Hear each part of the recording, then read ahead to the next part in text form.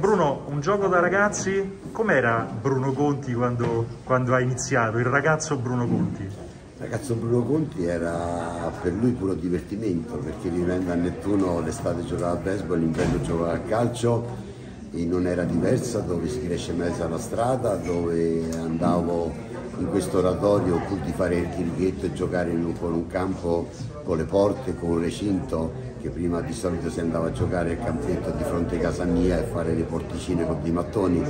per cui penso che sia stato ma questo è un omaggio anche un po' alla mia famiglia perché mio padre e mia madre avevano cresciuto sette figli con quel poco che si aveva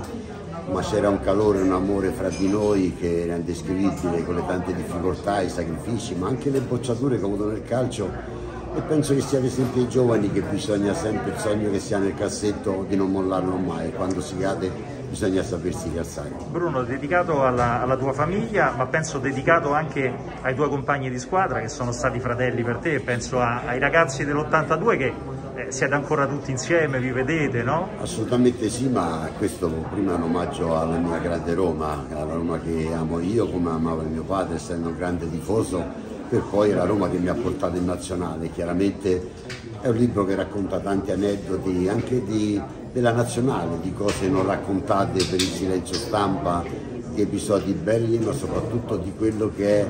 il gruppo. Noi, come hai detto te giustamente, ancora oggi abbiamo questo gruppo di campioni del mondo che ogni giorno ci, ci diamo il buongiorno, ci mandiamo gli auguri, si scherza ancora. È la cosa bella di, di quello che si è vinto, lo ha vinto il gruppo, non l'ha vinto soltanto un giocatore.